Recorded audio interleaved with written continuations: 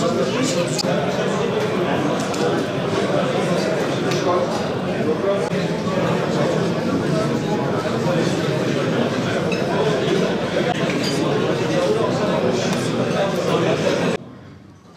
ya Rabbi, al rengini şehitlerin kanından almış.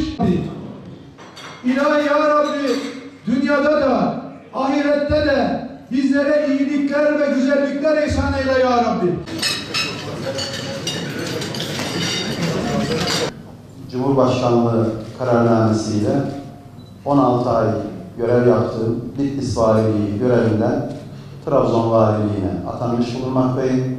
İnşallah pazartesi gün bu kadim şehre veda ederek hayırlısıyla yeni bir e, ilimize, o da yine ülkemizin çok kıymetli, her alanda marka değeri olan kadim bir şehrimize yolculuğumuz başlayacak. Geldiğim ilk gün göreve başladığımda hem vali olarak hem belediye başkanı olarak kamuoyuna ve sizlerle paylaştığım belli hususlar var.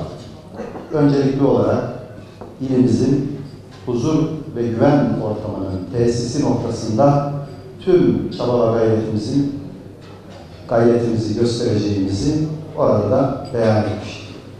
Onun yanında özellikle vatandaşa dokunan, vatandaş odaklı hizmet anlayışını ön plana çıkartan bir yönetim anlayışımızın olacağını paylaşmıştım.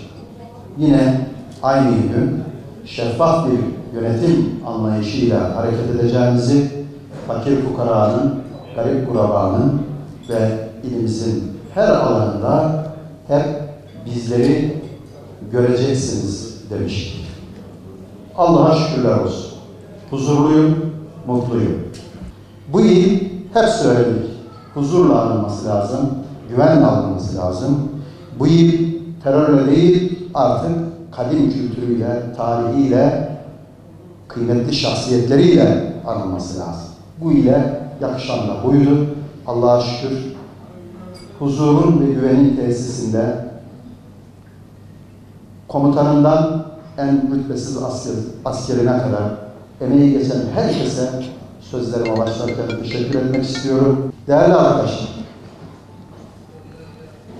vali olarak vatandaşa dokunmak, ilimizin derdiyle dertlenmek, fakir fukaranın, garip kurabanın yanında olma adına, vatandaşımızın acını payla, acısını paylaşma adına mümkün mertebe taziyelere giderek vatandaşımızla iç içe olmaya çalıştık. Devletimizin o şefkatli elini onlara hissettirmeye çalıştık.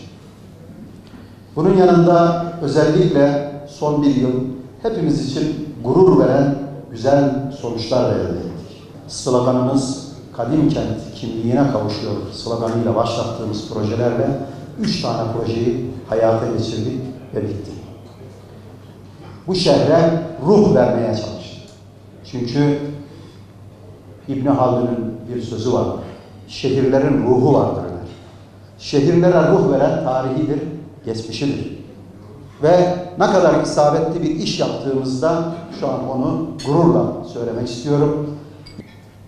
Kısa bir süreydi ama çok anlamlı bir dönemi geçirdiğimize inanıyorum. Bu şehrin değerlerine, tarihi değerine, kültürel değerine, doğal güzellikleriyle bu şehir anlamlı şehir. Biz de bu şehre hizmet etmekten, bu şehre kendimizi adamaktan mutluyuz, huzurluyuz. Geldiğimiz ilk gün dediğimiz gibi atanmış değil, kendimizi bu şehre adanmışız diyeceğiz dedik ve o şekilde de hareket etmeye çalıştık.